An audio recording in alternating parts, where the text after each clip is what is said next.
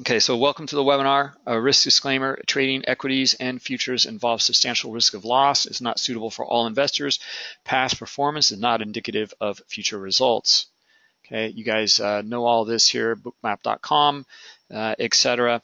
Uh, if you're if you don't, um, you know you can go to bookmap.com and you can log in uh, and um, uh, all the, you know, go to the education tab and the features tab here and uh, follow us on Twitter uh, or uh, and or subscribe to us here uh, for um, for YouTube and all the playlists are here, okay, to get you get you familiar or review anything in in Bookmap.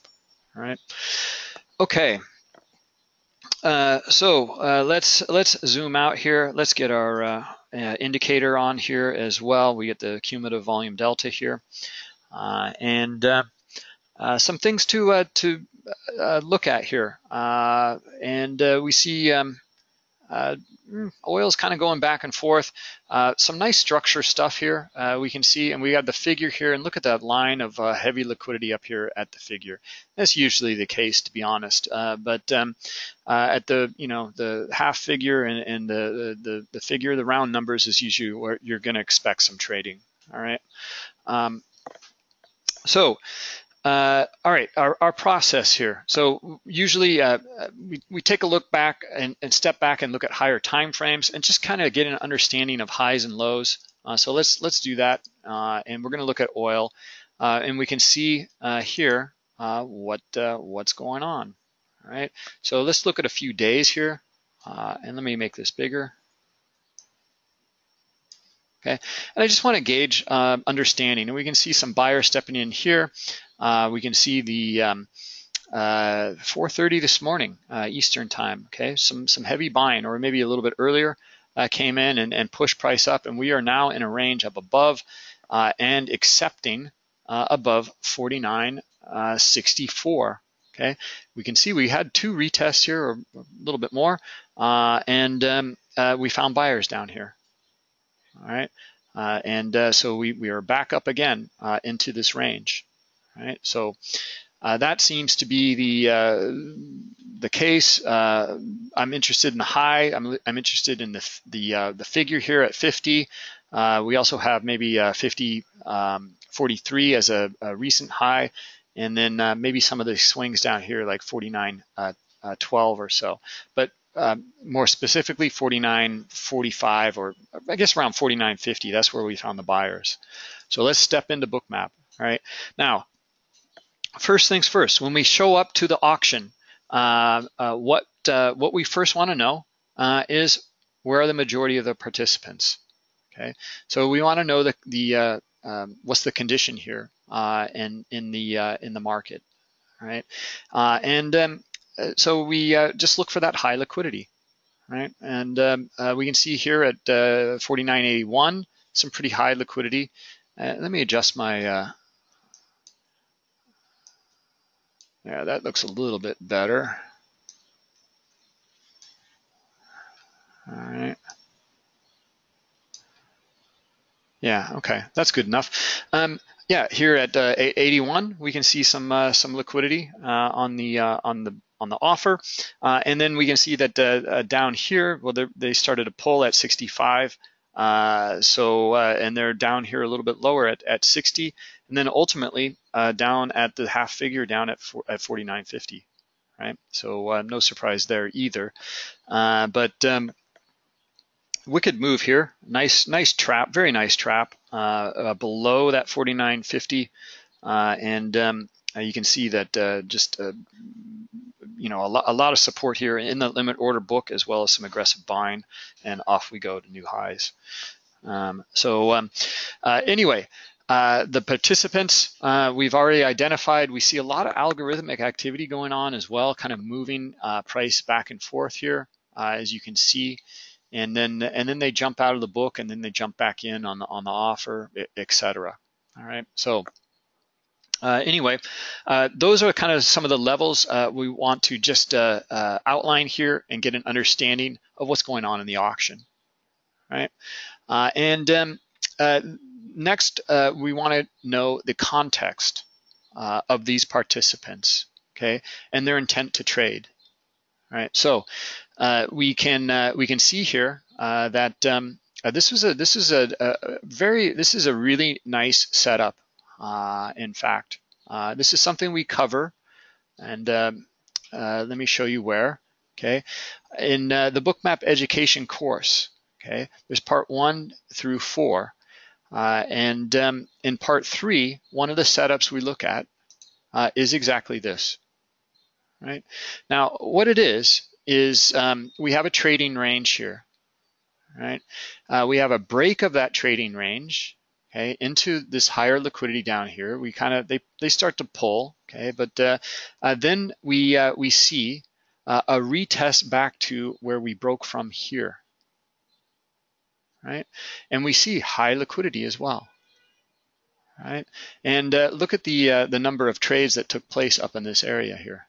Okay, uh, not very many. In fact, this is uh, exhausting out. Okay, there were uh, six six trades that took place up here. Okay, six transactions, and there and here they are, right right here. Right, or I'm sorry, volume of of six. Okay, so very little. Uh, and um, uh, it's basic. We're not finding a market here, basically. Uh, there no, there's no more buyers. Okay, the buyers are starting to dry up, uh, and we rotate back down uh, to um, find the buyers. Okay, and we don't really find them. you know, there's a little bit of sideways action here, but we continue to see selling pressure and in control, and we can read that in the dots. Right. So anyway, digressed a little bit. Let me go back to the intent of trade. All right, uh, the uh, uh, we can read this. Uh, uh, these guys, uh, although they pulled at the last second, this is longer term liquidity that stayed in the book. Okay, and um, and they're still here. Okay, at 81. Right. So we we identify that they have that intent to trade at the moment.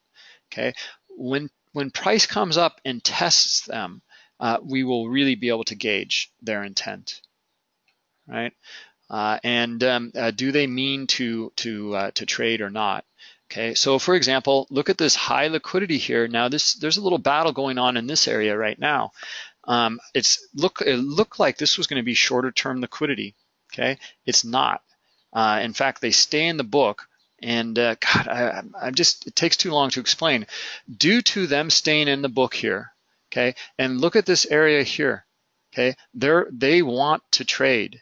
Okay, their intent here is to trade. They want to be buyers at this price level of 49.72. We can see they're staying in the book. Okay, some some pulled a, a, little bit pulled right here, but the majority of this liquidity, these 219 contracts, stayed in the book right?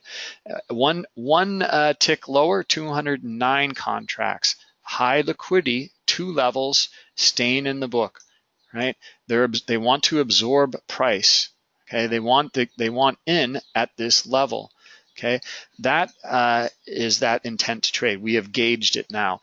When this type of activity occurs, I'm looking for the next area to get tested. And and now we can understand our 4981 area. Do they have the intent to trade? Let's zoom in here and let's answer that. Okay, we can see that some of it did. Okay, and then they started to pull, right? And they pulled, and they're now at a little bit higher, a tick or two higher, uh, and um, and and that's uh, that's what unfolded here. Okay, so we see some volume that traded here. Uh, we see the cluster of volume. Uh, that's uh, that's good, but um, the their their intent up at this level here is is kind of murky. I, I, would say this is clear down here at 49.72. Okay, we we know that we know this is fact. Okay, these guys up here, ah, you know, uh, here they they wanted to trade, not anymore though. All right, so they started to pull, and um, we can see that they're still. Eh, you know, they're kind of flashing back and forth in here. Uh, but uh, I think the the bulls here have have um, uh, the uh, the power at the moment, right? Uh, and um, uh, why do I say that? Well, just by putting the context of I'm not even looking at the traded volume yet. I'm just looking at the context of the auction and understanding the intent of these traders. Okay, uh, and, and, here we go. I mean, they definitely are in, in control here. All right. Now uh, that happened um, before. I didn't say it, uh, but that started to unfold when when uh, we were looking right around here. Okay, or at least I, I was. Uh, this is what keyed, or you know, uh, keyed me into it, right? Uh, and um, and then understanding now that they're starting to pull here. Okay, I, I'm looking for exactly this uh, big green dots, aggressive market buys, uh, sweeping the book, uh, pulling price higher, and they want to come up and test 50 now. That's the target here. Okay, That longer term liquidity that stays in the book uh, is a target. It acts as a magnet, right? Why is that? Okay, uh, It is because that longer term liquidity uh, is where the market knows it can trade. Okay, the value, it, you know, is determined in a trend. Uh, it's it price is uh, being or the value of of that instrument is being determined where a lot of where those liquidity areas are. Okay, so um, uh, anyway, uh, the um, that shorter term high liquidity though Okay, that distinction in all these little areas in here, um, you know, they're pulling, they're they're uh, they're adding, uh, and uh, you can see a, a, lot of algorithmic activity within these areas here, uh, and um, that does usually they do not have the intent to trade. Okay, when they start to stay in the book is when they when they have that intent to trade. Now, this high liquidity that jumps in here very quickly uh, repels price, usually. And it makes sense, okay, using auction theory. It repels price because it, it jumps in here very quickly and it skews the auction, okay? And let me show you what I mean by that, okay? We're gonna see it here. Okay, right here, Okay, we at 49.72, uh, we, we see, look at the bar here, okay, 227 contracts. And as I scroll forward, okay, we come into 188 contracts here, okay? So we, and 133, one tick above that, okay? There, there's a skew here in the auction, okay? There's more buyers than there are sellers. Uh, that uh, there's more demand at this level. That is new information for the market and the market usually adjusts to it. Okay, uh, and um, uh, anyway, uh, so you can start to uh, anticipate some of that and start to understand how, how price may, with a higher probability, may react with the that high liquidity that jumps in and skews the book. All right. Okay. Now the other higher liquidity here that stays in the book for a long time, it's already been digested. Market understands it can trade there. All right. So that's uh, that's the distinction between the two. All right. Uh, let's see here. Uh, Amazon. You want to look at Amazon later? Um, Francisco, I, I, may have to hold off on Amazon. Um, may, maybe we'll have time a little bit later. Um, and uh, you want to look at some currencies as well. I only have the euro up. I do not have uh, the, the British pound. Um, and uh, let's see, uh, Richard, uh, two questions. Line three the bottom of the chart for delta. what are these lines? How can you explain delta? Okay. Um, this is the advanced webinar. Uh, so um, I don't want to delve uh, too deeply. Unless you guys have questions, I'll be happy to answer them. Uh, but everyone is uh, usually pretty pretty familiar here with uh, the cumulative volume delta uh, indicator that we have in the subchart. Okay, what this represents is is a, it's accumulation of the volume, and it just it it's a very simple indicator, but it, get, it can give a lot of insight. And it, what what will let's say a, market buy occurs for a volume of one. Well, your cumulative volume would then change. It would it would be plus one. Okay, whatever the previous uh, record of it, it would be plus one. Okay, someone comes in and buys 10. Okay, now that would be plus 10. All right, so uh, altogether, the accumulation of, of our trading period would be 11 now. And now, let's say a seller comes in uh, for um, for uh, five, okay, and they uh, aggressively, uh, this is now this is these are the aggressive orders, right? Uh, so the market sell for five. So we have 11 minus five. Now, now our cumulative volume is still positive, but it's six. Okay. And how that can be helpful? Well, you can start to understand absorption, uh, exhaustion extremely well uh, using the cumulative volume delta. Okay. In Bookmap, you can also just see it so visually without even uh, looking at the uh, cumulative volume delta. All right. Uh, you can just see it right here, uh, and you can start to understand the context here. whereas this, you know, didn't really give us much of a signal, right? And we don't see a lot of absorption. But they, they definitely had the intent to trade. There's no question there. And we can see the reaction. We still haven't tested 50, but we might get the rotation now. Uh, and um, uh, let's uh, let's see. This is where that initiated buying took place, right here, right where we are right now. Okay, so we need to see if they're still interested here at 49.80. Okay, at the moment we're not seeing it. Okay, they're still here though. Down the liquidity is down here, right?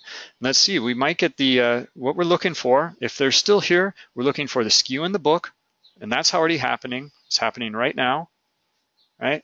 And now we need we need the aggressor to show up, show up to the party.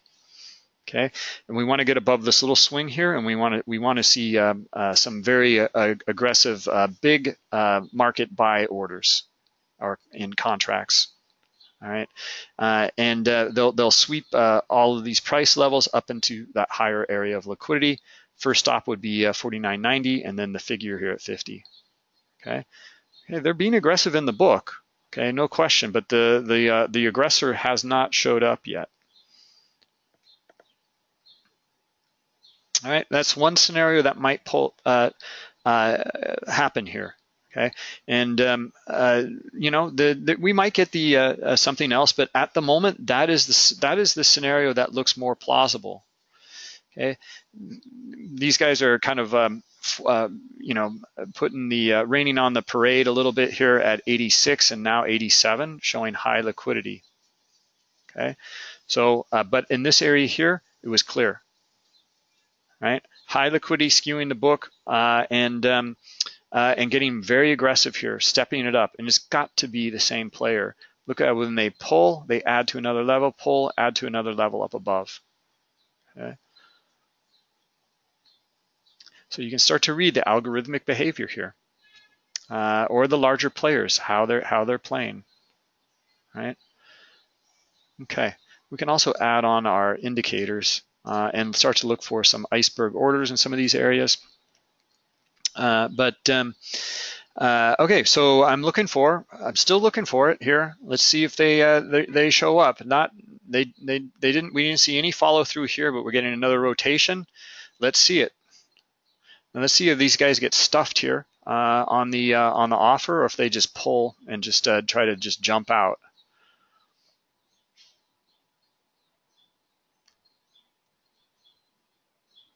All right. Okay, so just putting the, the pieces together, reading the context. Okay, what about some of these swings down here? Okay, see some, now let's go over the transactions. Where are they taking place? Okay, this will give us insight to uh, uh, the potential uh, uh movement of price. Okay, that's where traders are committed. And that's why I'm looking for here, right here, uh, for the buyers to show back up because they were here previously.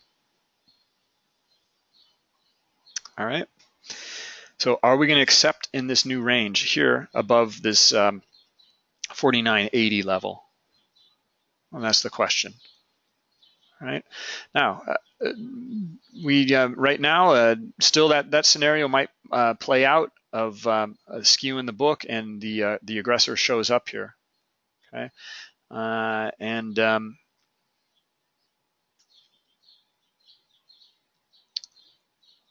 But other than that, I mean, high liquidity is at 90 and at uh, 74. Right.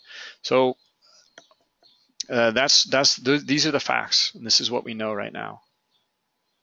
All right. So um, I, I, am starting to read uh, a little bit of a skew here to the upside. I see a little more volume starting to trade up in these areas. So uh, a lot of times, um, what we look for in the trending environment is uh, the um, uh, transactions at higher areas, higher highs. Okay, and then we get more price discovery to the upside uh, if that is the case. On the lower um, uh, or the higher lows in some of these areas, and you see it kind of uh, a lack of trading. It, the, the market doesn't like trading here, right? We don't see much liquidity, uh, and we also don't see a lot of transactions. All right, so uh, based on that, we start to you know anticipate that another test and then potentially discovery uh, to the upside. All right. Okay, and uh, you see lots of nice little wicked things happen in some of these areas here, uh, and um, uh, you know some traps to the to the downside just kind of break some of these lows, uh, and then uh, immediately move right back into the range. Okay, so let's. Um, I want to cover a more range-bound strategy, and um, uh, let me find a good range. I mean, this is pretty micro level here. Uh, we could we could use it, um, but uh, it's not going to be the clearest example. Uh, but uh, you know, a, a, lot of you guys trade with um, uh, indicators or um, you know some sort of understanding, like like here. you know, we our, our cumulative volume delta uh, is uh, is showing that there was a little more selling actually uh, in this area here. Okay, interesting. Uh, it actually did make a lower low, so uh, I guess it's not that uh, not not that surprising. but um, anyway. Um, but we're trying to gain, gain, insight here to the commitment of these traders and and the the auction here, the um, the intent. Okay, our scenario, it, it, it, it there's uh, the lack of the um, uh, buyers. Okay, they they just didn't show up, right? So um, now we're uh, the the aggressive sellers uh, are are taking the price down here. Okay, this would have this is hard to to see. Uh, I, I don't like it. Um, you know, this usually happens in the afternoon. It, it gets a little harder to read, um, and um, uh, you know, because I'm not seeing that that commitment that we do earlier on uh, in some of these areas here. Okay, so just like yesterday, basically. Uh, but um, uh, you know, uh, and it gets really trappy too. So that that trap is is uh, is set here, is potentially set right here, right now. Okay, that um, and we, we we're still looking for the same stuff, uh, skew in the book, and those aggressors to show up in the you know and and lift the offer here. Okay, and um, they're starting to show right? And then these guys here, they're going to be trapped, okay? So um, we're back in the range. Okay, I'm looking for it now. I'm really looking for it right now. Okay, let's see those aggressors. Okay, this, uh, uh, this is the uh, uh they they they potentially have it here if they want. Okay, because we've got the trap to the downside and looking at some of these this nice little range here. There's going to be some liquidity up here or you know there's going to be some stops up in this area here and there's going to be a lot of buying okay anyone that sold the breakdown here and uh, no still still not showing up okay so uh, anyway um, let me go over this example like I said it's it's not the clearest example but it I, I want to keep an eye on the live market as well the breakdown here right? So, and and why I'm looking for this now to uh, to test to the to the high side, all right? Um, and uh, let me let me cover that. Okay, it's getting interesting. It's getting interesting. Um, okay, so let's draw on the chart here, uh, and um, uh, okay, so this is our trading range here. Okay, here's a break of that trading range, and we come back into the um, uh, right back into that range. So price rejected here very clearly. It rejected. All right, uh, and um, uh, the um, we see there's a, there's actually it's not the clearest example, but there's two microstructural levels here uh, that uh, we're, we're, looking for, right? Uh, and uh, we see one of them here, okay, and we see the other one right here, okay, this little cluster in this area here, okay, and um, the um, that's where I'm actually looking for the buyers to show up yet again here to see if they they do, okay, so. And and and so far so good, but um, we're just we're just kind of battling back and forth here. Um, so uh, if you guys are looking at some sort of indicator uh, down at these levels, okay, and you're you're looking at range bound strategies, uh, I would uh, I would recommend looking at some of the microstructural areas here, um, and then understand when they um, uh, they trade back into uh, the range. Okay, so it, it wouldn't, I mean, you would be kind of flying blind here uh, if you're entering at some of these areas because you don't know how much uh, supply there is or how, how, how, the aggressors, they may, they may continue on. Okay, uh, but once we come back into the range here, uh, then, uh, uh, you know, and let's say your indicator, okay, you have some, some sort of signal here generated by your, by your indicator Okay, and uh, we might have something here. Okay, there's our low. Okay, and um, yeah, not not not really, not really, nothing uh, nothing too interesting uh, on the CVD. But let's just say you did get some sort of uh, indicator reading uh, down in this area. Okay, but we still don't know, right? But once we see the shift in the order flow, okay? And what we're looking for in that shift of the order flow uh, is the, um, uh, the, the, the move back into the range and the aggressor, okay? We're looking for the, uh, uh the buying uh, to, to pick up in this area.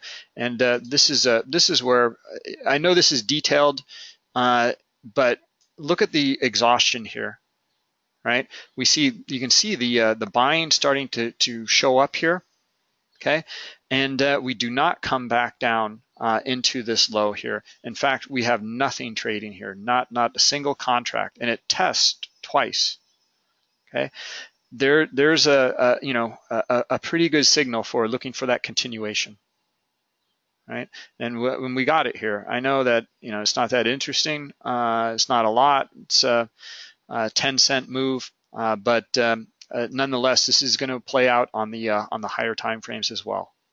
Okay, so starting to combine in a strategy, uh, and uh, this is just one of many. Okay, but uh, you can start to integrate order flow within your strategy. Okay, start to understand uh, this rejection here uh, get your uh, your some of your uh, signals from the whatever uh, trading methodology you're using, uh, and then we see the shift in the order flow. All right. Okay, let me get to some of the questions here, uh, and um, let's see because we have a lot, which is great. Keep them coming. this is this is what these webinars are for, to get you guys uh, understand the advantages that uh, the, the tool is showing and how to integrate order flow into your trading. Okay, because this is going to be an, this is an advantage here. Okay, there's a couple setups we went through. You know, this one was real nice too. Okay, now this, this is you know we're not looking at big moves here, but these show up on the higher time frames very clearly. I can demo that. Um, uh, you know, we we can uh, uh, start to um, understand, for example, you know, I'm zoomed out here. Here's 9 o'clock, cash open. Uh, look at the drop here. We return back into this area right here, uh, and we get one more drop. Okay, where does it drop to? This little cluster right here. Uh, maybe you want to be a buyer if you think that uh, we're continuing to the upside, and uh, and indeed it did. Right. So now we're starting to look at volume uh, profiles, etc. Uh, here's some divergence. Here, here's here's a nice uh, divergent um, um, divergence in the year cumulative volume delta here. Okay, we made a lower low. Okay, uh, in price, uh, but look at how there's less sellers here. okay, in the cumulative volume delta. More sellers here at this um, higher low.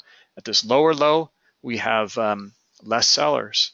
So there's a little more buying pressure in here, right? Well, there you go. There's there's your signal. Let me go over this setup. There's your signal, okay? And then uh, let's let's look at this. This is exactly the same thing we were looking at before. Exactly the same setup. Okay, our move to the downside, nice cluster of volume here, and then this microstructure broken. Okay, now do we accept above it? And uh, yeah, we do. And in fact, uh, look at them. Th these are those, uh, oops, sorry. Let's go back here. Boy, yeah, we're just range bound here. Uh, let me go back here. Ah, hold on a minute.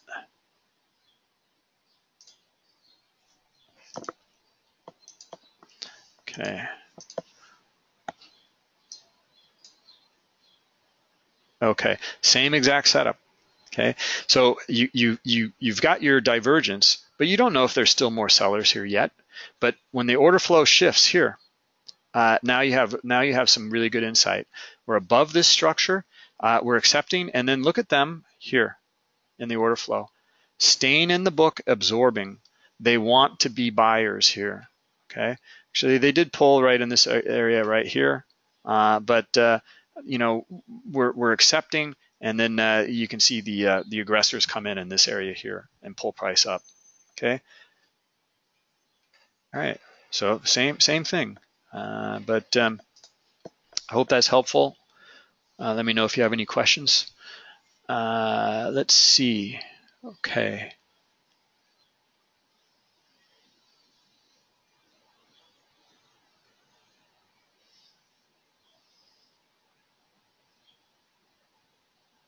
Yeah, I agree with you, Francisco. Yeah, uh, that that 50 50 area. I'm I'm still targeting it um, longer term here, uh, but um, uh, at the moment you can see that we saw this initial breakout here during the webinar, uh, and then we come right back into the range. And I was looking for that that that buying right here uh, again, and it's holding. But uh, you know, I, I thought by now we'd probably get up here and test it again. You know, but we haven't. it's just been in this range. All right. Um,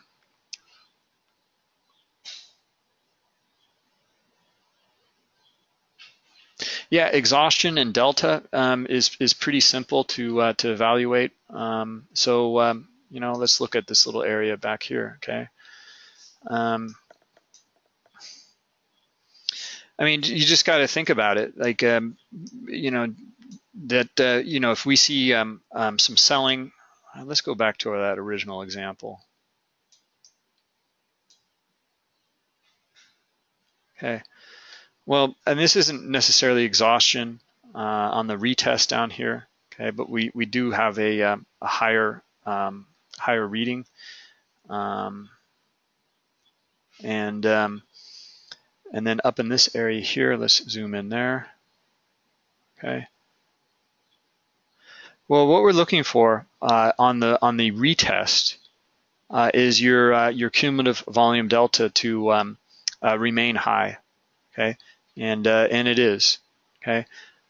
Um, so and and you can just read it in these little points. I, I find it easier just to read read these points and read read the uh, the clusters of of the the volume. You know, is there more buying than selling? more aggressive buying than selling? And um, uh, you know, just read the uh, the size uh, of these dots and uh, the color. Okay? And I know that sounds kind of wonky. You can look at, you can roll over these areas and also get exactly what traded. Okay, you can also put this within your trading range and look at your volume columns and know exactly what traded. Okay, in fact, let's not split this out. Okay, and our profile here also shows a little bit of a uh, you know distinction. Okay, we're looking for we can see more trading at a higher area, and uh, it's a little more. We can see just by the size here, a little more uh, uh buying than selling, but it's rather equal. Uh, but uh, down here, 12 contracts traded at this area here, and that's from back over here. Okay. So actually three traded here. That's it. So there's your numeric values for those of those those of you guys uh, wonky, not wanky. um, so um, uh, the um, uh, you can see the uh, uh, uh, the lack of selling activity here. Right, it's exhausting out. All right. European session closing. Yep. Thanks, Homera. Uh, let's see. Okay, Richard, any more questions on that? Uh, you want to go over some settings on the uh, on the cumulative volume delta? You know what? Um, I'm not going to uh, I'm not going to go over that. What I'm going to do instead is I'm going to show you where you can find the video. Okay, features and components. Let's click on that playlist and uh, browse through here, and um, we will see the cumulative volume delta. Where is it? Correlation tracker.